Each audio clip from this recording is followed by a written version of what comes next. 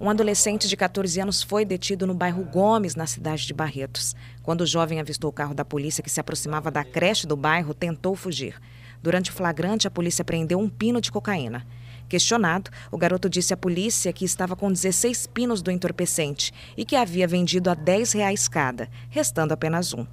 A equipe do Canil foi acionada para verificar se ao redor do local ou pela vizinhança drogas teriam sido escondidas, mas nada foi encontrado. Diante dos fatos, nós conduzimos até a delegacia, apresentamos o caso ao delegado. É, ele entendeu por ser tráfico é, diante da confissão do menor e elaborou, autuou ele no artigo 33, é, apreendendo o menor. Embora atuando no tráfico, o jovem não tinha passagem pela polícia. Embora ele tenha só 14 anos, mas aparentemente já faz algum tempo que ele está no tráfico, é, a família, ele já está dando bastante trabalho à família, inclusive a família é, veio nos reclamar a respeito do seu comportamento. Então, embora ele tenha só 14 anos, a gente ainda não o conhecia.